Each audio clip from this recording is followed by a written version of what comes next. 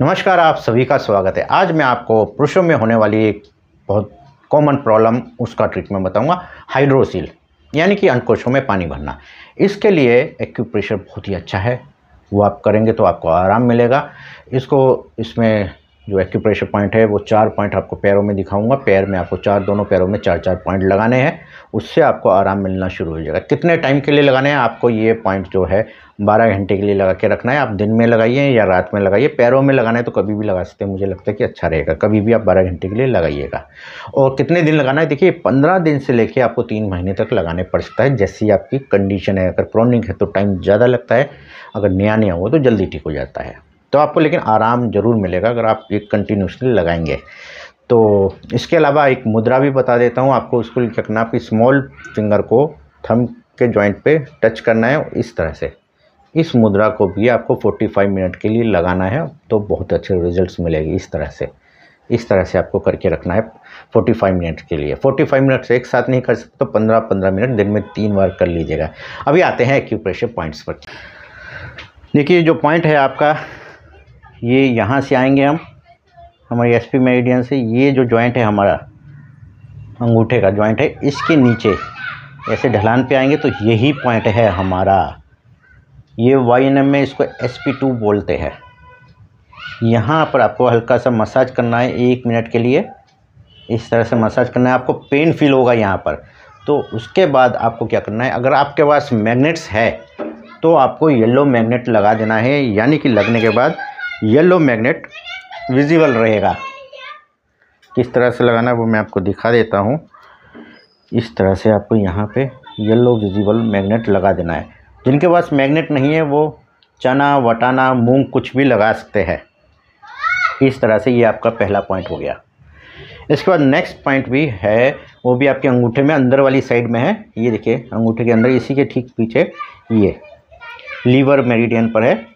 यहाँ पे हमारे लीवर टू पॉइंट आता है, यहाँ पर। इसको यहाँ पर हमें यहाँ भी येलो मैग्नेट लगा देना है, जिनके पास मैग्नेट है। जिनके पास मैग्नेट्स नहीं है, वो मूंग, वटाना, मेथी कुछ भी लगा सकते हैं। मूंग और वटाना लगाए के, मूंग के चार दाने या वटाने का एक दाना लगाए के तो चने का यानी कि।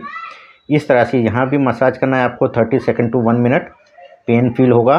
वहीं पर इसको आपको लगा देना है इस तरह से। ये देखिए, इस तरह से लगा दिया। ये देखिए। अभी नेक्स्ट पॉइंट है आपका। पैर में ही है वो पॉइंट भी। वो आपको लगाना है इस तरह से देखिए। वहाँ भी येलो ही मैग्नेट लगाना है। देखिए, ये हमारे ये स्मॉल टो टो पर आपको अंदर वाली साइड में स्मॉल टो की तरफ़ ही नीचे, ये जो जॉइंट्स के नीचे आएँगे, यहाँ पर। ऐसे अंदर आएँगे जो आपका यहाँ पे जॉइंट फील होगा। जॉइंट के थोड़ा सा नीचे, अंदर की स्मॉल टो की तरफ़ की बोन की तरफ़, इस तरह से यहाँ भी एक येलो मैग्नेट लगा देंगे। ये तीन हो गए हमारे। इस तरह से देखिए लगाएँगे। इसके बाद हमारा जो नेक्स्ट पॉइंट रहेगा, वो यहाँ पर देखिए।